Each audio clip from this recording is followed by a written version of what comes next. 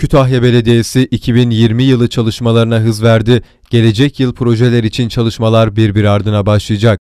Benim işleyişlerinin katılımcılarıyla paylaşılması, Kütahya Kent Konseyi, Gençlik Meclisi, plan ve projelerini Kütahya'da yapacakları projelere tarih veren belediye başkanı Ali Işık, bu şehri dünya kenti yapacağız dedi, projelerinden bahsetti. şehrimize e, yeni rekreasyon alanları kazandıracağız. Bu şehri dünya kenti yapacağız. Bu kadar iddialıyız.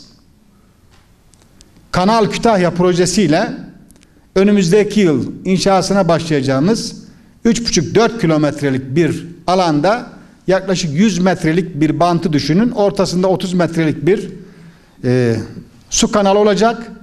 Bu kanaldan Sandallar gelip gidecek, tekneler gidecek.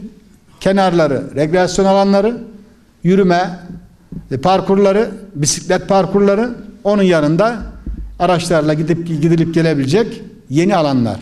Bu şehre bunu kazandıracağız. 2020 yılı bütçesiyle beraber inşallah Ocak ayından itibaren yeni alanlarımızı şehrimize kazandıracağız.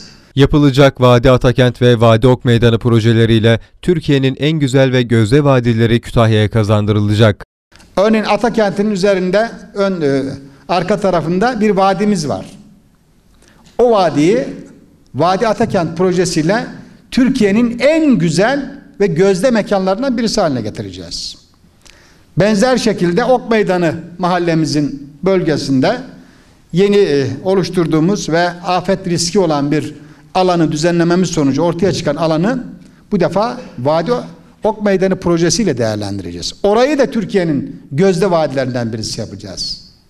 Ankara'da Dikmen Vadi'ye gittiğinizde, İstanbul'da başka vadileri gördüğünüzde nasıl orada imreniyorsanız bu defa bu güzellikleri Kütahya'da göreceksiniz.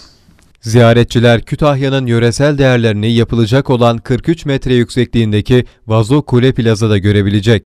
Allah nasip ederse şehrin çok gözde yerlerinden birisine bu şehrin simgesi olan ve UNESCO yaratıcı şehirler ağı- ağına girmesine vesile olan zanaat ve halk sanatları alanının sembolü Çinili vazoyu vazo kule ile şehrimize kazandıracağız. 43 metre boyunda olacak.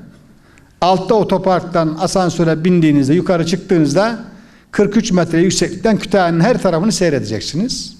Ondan sonra aşağı doğru inerken isteyen kafede oturacak, çayını kahvesini içecek, isteyen lokantaya girecek, isteyen Kütahya'nın yöresel değerlerini o Vazo Kule plazada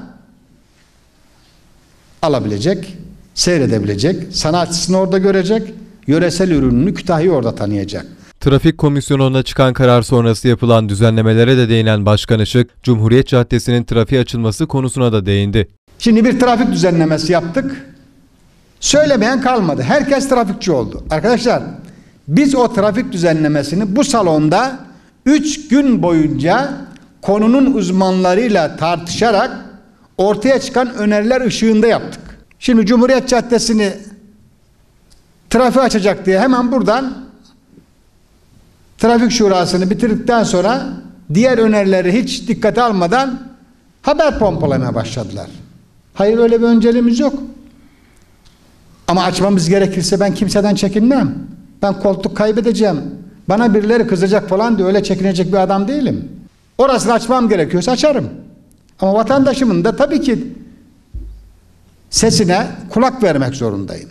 Başka bir alternatif oluşturamadığımız zaman orada zaman geçiren boş insanları başka sorunlarla bu defa boğuştururuz. Evet biraz otursunlar, devam etsinler. Ama şimdi vatandaş burayı ne zaman açacaksınız demeye başladı. Dolayısıyla yaptığımız işler bilimsel olursa bu tür toplu organizasyonlardan çıkan fikirlere dayanırsa haklılığı geç de olsa anlaşılıyor.